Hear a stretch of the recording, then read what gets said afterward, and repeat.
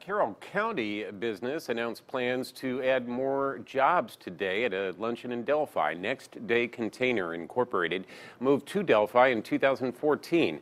After adding 20,000 square feet to its facility in July, Next Day Container announced it will add another shift to the workforce starting September 1st. That expansion allows Next Day Container to hire three more people. Executive Director of the Carroll County Economic Development Corporation, Laura Walls, says the community was pleasantly surprised by today's announcement. They were here to announce the three new jobs, and as it turned out, uh, they're adding a second shift in just a couple of weeks, and there will be new jobs created with that as well.